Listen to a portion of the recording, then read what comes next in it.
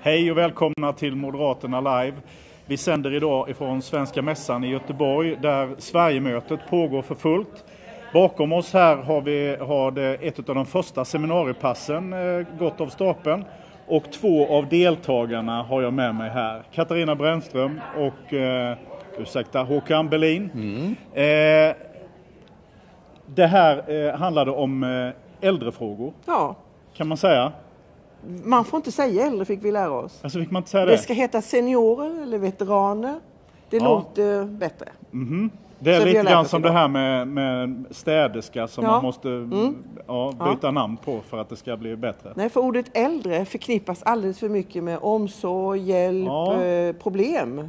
Det Eh, och känner jag ju igen. Ja, det känner du igen. Och det var ju inte alls det vårt seminarium handlade om idag. Nej, för Håkan du var ju med här eftersom du är pensionär men jobbar heltid som lärare. så är det.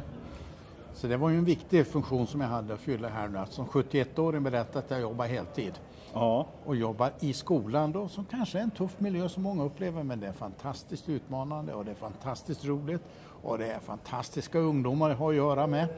Så att kan vi få flera vuxna att komma in i skolan, i skolans värld, Ja. kommer det bli kanon alltså framöver. Både för barnen, för kommunen och skolan, men även för oss som vill jobba vidare. Ett jättebra tillfälle att kunna göra det.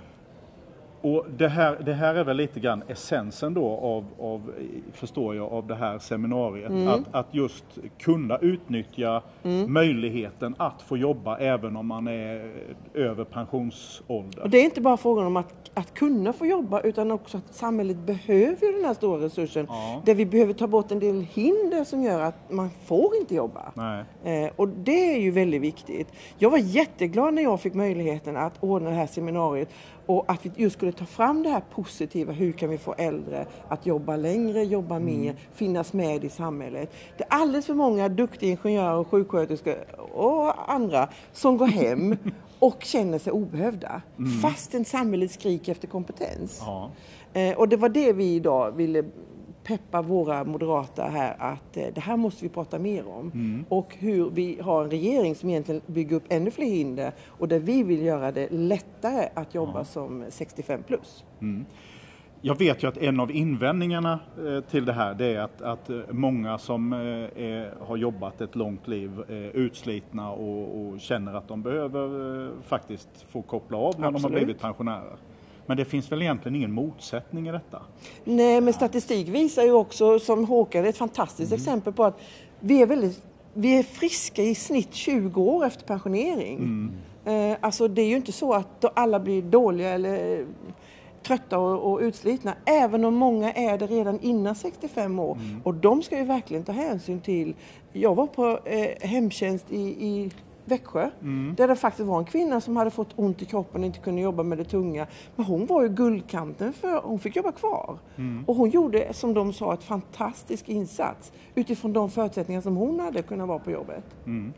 Sen är det ju också det, man ser på många företag, 67, då är det ett i stupan. Va? Det är det som är så positivt med Växjö, att jag har ett kontrakt.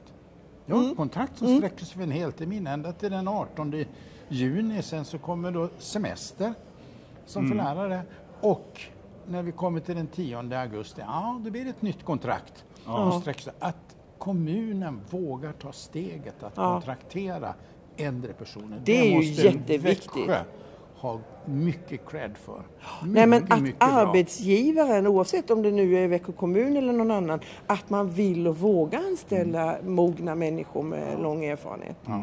Så eh, jag förstod att en av de ytterligare deltagarna i den här, på det här Ja. seminariet eh, hade ju startat ett företag med Ja. just den här inriktningen. att- Veteranpoolen. Veteranpoolen och, och jobba med eh, så att säga att anställa just veteraner. Mm. Ja. Och, eh, det är ju givetvis ett sätt att lösa det på men, men på det här viset genom att, att man är på, på reguljära arbetsplatser anställer Ja. även seniorer. Ja. Ja. måste ju vara liksom det optimala egentligen. Att det inte ska behöva vara särlösningar. Nej, men det, det, det tvingas man till idag för enligt kollektivavtalen så upphör ju försäkringarna att gälla. Mm. Eh, vi hade ju med Meta Paulsson, eh, Moderata Seniorers ordförande här. Hon var landshövding i Skåne men på 67-årsdagen då kickades hon ut.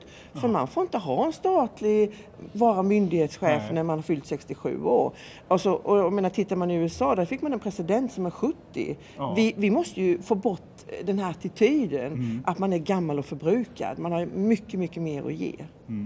Och det märkte jag också när jag kommer till skolan också. Igen cred till Växjö kommun och personalen där. Det är ingen som upplever mig som är 71 Men ingen som tror att du är det heller. Nej, det är så kanske det. Men man är ju liksom en i gänget va, Ja. på det. Man, de är 30, 40, 50 år och man blir som dem. Ja. Och det är Ja. positivt alltså att man, man upplevs på det. Va? Det ska man också berätta, Ja. att hur roligt det är att få yngre arbetskamrater. Ja. Att leva i verkligheten, att få liksom...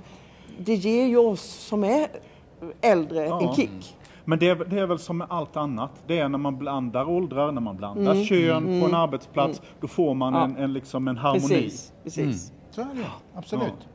Så fler äldre på många fler arbetsplatser. Ja. Ja. Fantastiskt. Då har vi ju en, alltså vi, vi brukar ju prata om att vi har resursbrist och så vidare i, i både Mm, det går att omsorg och lösa. annat.